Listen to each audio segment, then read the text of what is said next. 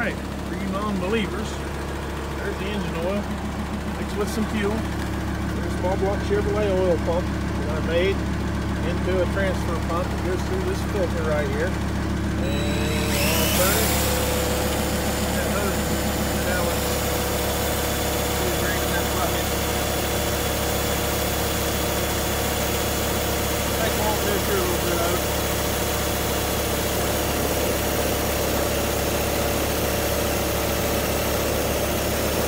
I've got the truck running, so this will circulate the bypass or the return line will uh, circulate what's in there before I'm dumping in. Okay, there it went.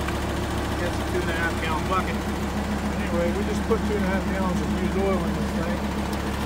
It's sitting here.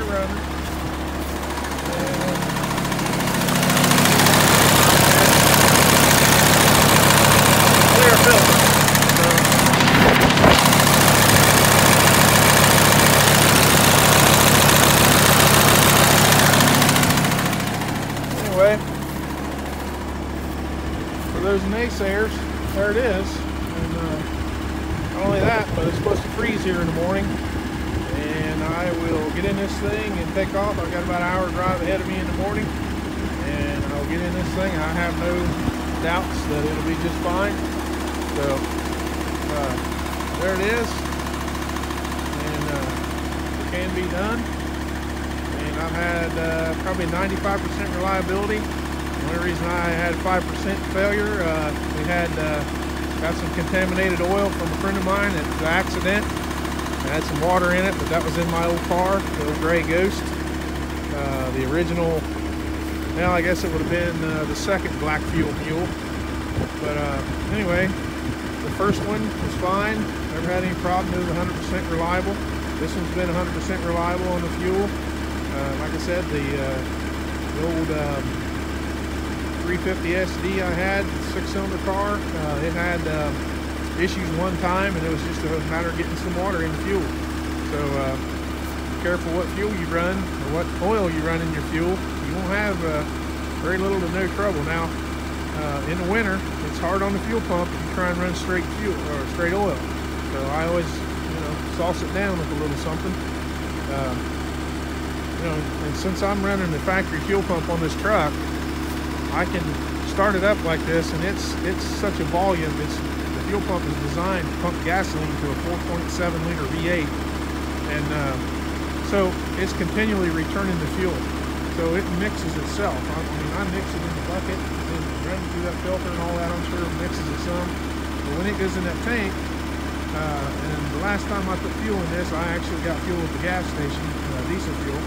So, uh, you know, it's it's going to circulate through there and mix to it. I'll probably have 65% used motor oil. I'm going to go ahead and fill it up. Uh, like I said, I got uh, a total of two hours driving tomorrow. So I'm going to top it off. And uh, like I said, the guy at uh, Harbor Freight that uh, doubted it, I don't know how else to prove it to you, sir. But here it is. runs, runs on in. You can't tell any difference.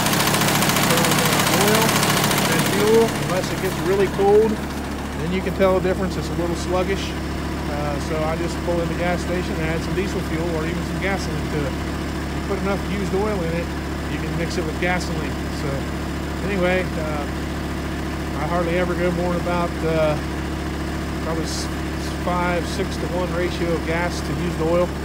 I've been messing around with this stuff for about a year now on my own. I've studied it quite a while before I tried it, but uh, you know, I did adjust the valves on this thing, um, and I put new glow plugs in it, and I put the engine heater on it, and I just changed all the filters. So I'm trying to get it where I can run it all winter without having to wrench on it. So anyway, thanks for watching. Uh, got any questions or anything on this? Let me know. I'll, I'll be glad to help you. Uh, somebody sent me a question, uh, actually it was on Facebook, questioned me about it, uh, putting a Cummins engine in something and doing this. And, I would say a Cummins would act exactly the same. Uh, they are both Bosch pumps. They have similar setup, piston-driven injection pumps. And, uh, you know, I say go for it. Uh, you know, the worst thing you'd have to do is maybe adjust your uh, fuel to oil ratio.